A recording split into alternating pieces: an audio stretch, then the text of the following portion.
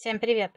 Вот иногда смотришь всякие видео-анкеты и буквально поражаешься. Вроде бы деваха, да, не глупая с виду, но такую фигню несет.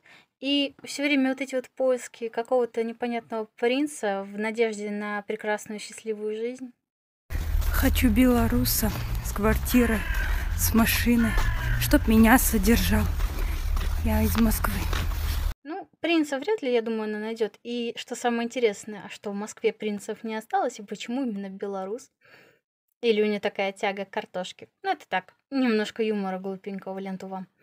Но, что самое интересное, она ищет с квартирой, с машиной, то есть чтобы все было как положено.